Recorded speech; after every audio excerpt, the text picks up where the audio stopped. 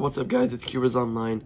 So today is gonna be a different video. A few months ago, I was scrolling through YouTube and I saw this video.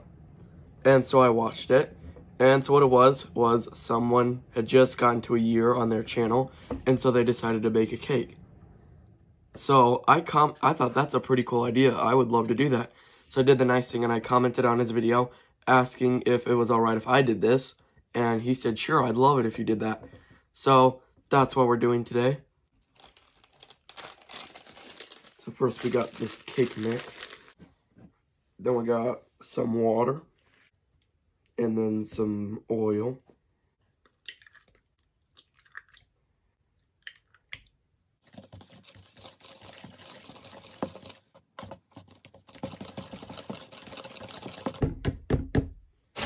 All right, I think we got it whisked up pretty good in there.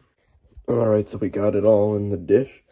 So now I'm probably just gonna do a time lapse through the baking process.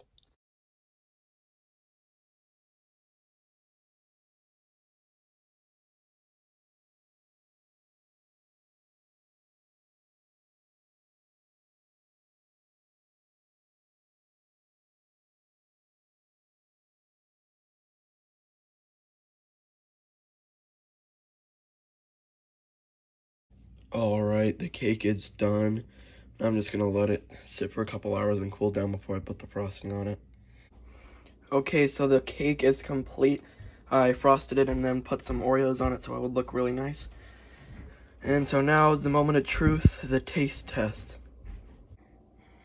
Got our slice.